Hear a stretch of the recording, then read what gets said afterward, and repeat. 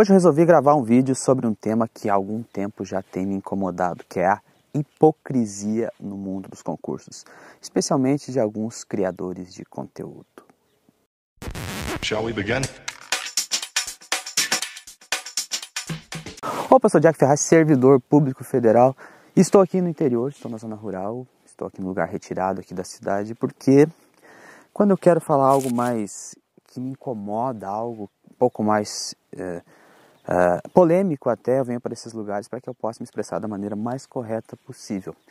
E hoje eu vou falar sobre criadores de conteúdo, tanto no YouTube quanto no Instagram, principalmente no Instagram, que falam sobre é, concurso público, obviamente, mas que não são totalmente verdadeiros. Por que, que eu digo que não são totalmente verdadeiros? Porque pessoas vivenciam uma coisa e falam outra em frente às câmeras. Vou dar um exemplo aqui. Falar de mim primeiro, né? Sabe que eu gravo conteúdo aqui para concurso público, então eu posso me usar como exemplo sim. Sou servidor público, trabalho como técnico do IBGE, ganho em torno dos 7 mil, 7 mil e poucos reais por mês líquido. Já passei alguns outros concursos públicos antes do IBGE, mas preferi estar no IBGE talvez não tenha sido a escolha melhor em termos de remuneração, porque se eu tivesse, por exemplo, assumido o Ministério da Fazenda, talvez eu tivesse ganhado algumas gratificações a mais lá em 2013, talvez hoje eu ganhasse mais, porém não seria feliz como eu sou no IBGE, porque IBGE, cara, isso aqui, ó, natureza, interior, poder desbravar municípios, conhecer lugares diferentes, isso é uma coisa que me faz feliz também. E ganho essa remuneração que eu falei, e ganho mais na internet, né, parceiro, que eu não tô aqui para mentir para ninguém. Ganho também no YouTube, Desde que abri o canal, faz mais ou menos um ano que eu já ganho mais com o meu trabalho na internet do que com o meu trabalho no IBGE. Não vamos ser hipócritas e dizer que não, a gente ganha com monetização do YouTube. Apesar de não ser um canal grande, é um canal pequeno, mas é um, é um ramo de concurso público que acaba tendo bastante anúncio direcionado e acaba pagando bem até comparado a outros ramos uh, do YouTube que não pagam tão bem assim. E, e além disso, tem também os ganhos com indicação de curso, com cursinhos, por exemplo, Gran Cursos Online.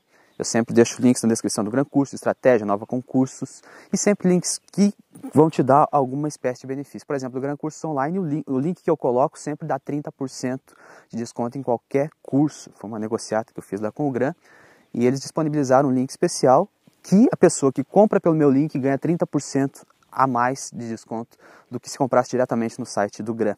Então, isso é uma coisa que é boa para o Gran Curso Online, por exemplo, que é boa para o concurseiro que vai pagar menos e que é boa para mim também que ganha uma comissão sobre isso.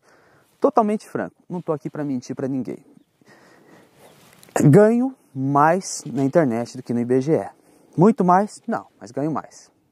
Diria hoje que não valeria a pena eu trocar o meu trabalho no IBGE por um cargo que ganhasse 17, 18 mil reais por mês se eu tivesse que, que abandonar a internet, por exemplo. Não valeria a pena.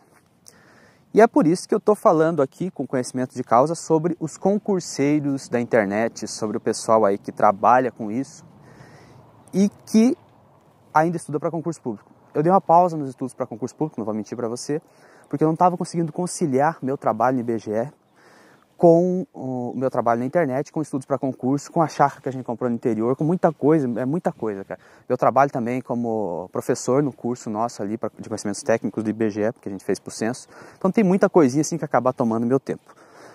Então acabei que dei uma pausa nos estudos para concurso, estava estudando para auditor do Tribunal de Contas do Estado de Santa Catarina. Você que me acompanha sabe que eu estava focado bastante nesse concurso.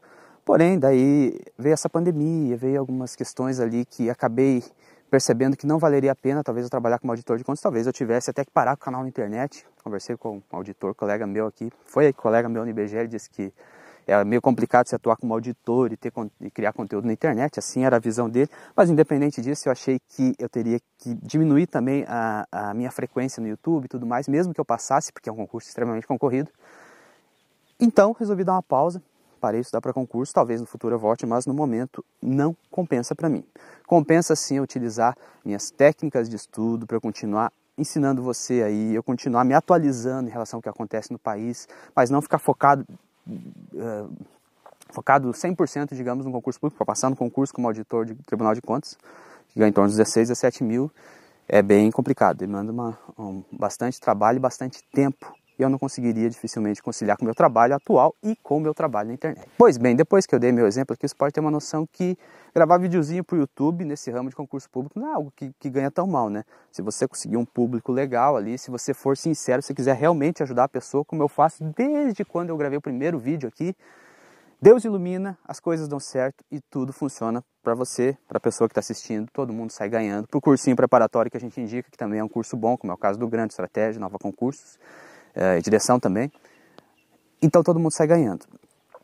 Agora, eu vejo perfis no YouTube, no Instagram, com três, quatro vezes mais seguidores que eu, e que estão ali sofrendo porque não passaram em um concursinho que ia pagar 7, 8 mil reais por mês, sendo que eu sei por conhecimento de causa, que essa pessoa ganha mais de 20 mil reais por mês. Essa, essas pessoas, porque nós são, tem vários assim. Então, para esses criadores de conteúdo que fazem isso, eu só digo uma coisa: menos hipocrisia, mais empatia. É isso aí, então, se desculpa meu desabafo aí, é que eu vejo muita gente que entra em contato comigo aí para trabalhar nas funções temporais do IBGE, que dois mil reais tipo, resolveria a vida dela no momento, que ficaria feliz da vida, mesmo que fosse por pouco tempo, enquanto outras pessoas estão aí chorando de barriga cheia. E isso, para mim, como uma pessoa que veio de baixo, como veio do interior, já atuou como boia fria, como já passou fome, tantas coisas que eu falo aqui no canal, eu acho que muitas vezes essas pessoas que se queixam, reclamam de barriga cheia, deveriam levar um, choque de realidade para entender mesmo que nós moramos no Brasil, que é um país que tem muita gente passando necessidade, que você não passa nem um milésimo do que essas pessoas estão passando. Valeu então, se você gostou do vídeo, dá um like aí, se inscreve no canal, abraços e até a próxima.